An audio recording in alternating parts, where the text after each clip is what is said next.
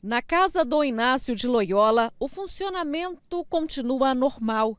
A funcionária conta o dia e o horário de atendimento ao público. Por favor, qual que é o dia que está tendo sessão? Quarta e 36, das 8 da manhã e à tarde às 14. Nas ruas ao redor, comércios fechados. Pela sujeira, há tempos. Nós ficamos mais ou menos uma meia hora nessa rua aqui que dá acesso à casa do Inácio de Loyola.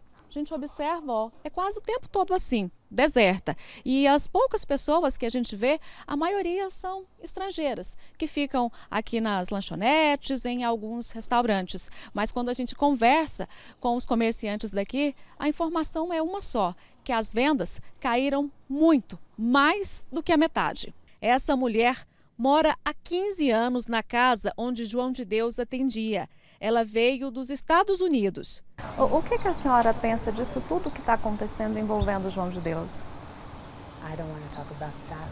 Okay?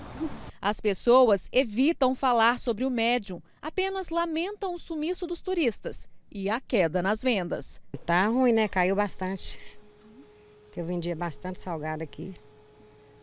Os taxistas comiam muito, agora não tem nem taxista mais. Antes a senhora vendia quantos salgados por dia? Quantos que a senhora vende agora?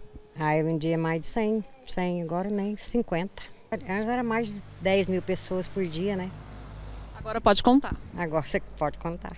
No fórum da cidade, a informação foi que a juíza ficou em audiência durante toda a tarde de quarta-feira e que o pedido de transferência de João de Deus poderia chegar a qualquer momento, inclusive por malote eletrônico.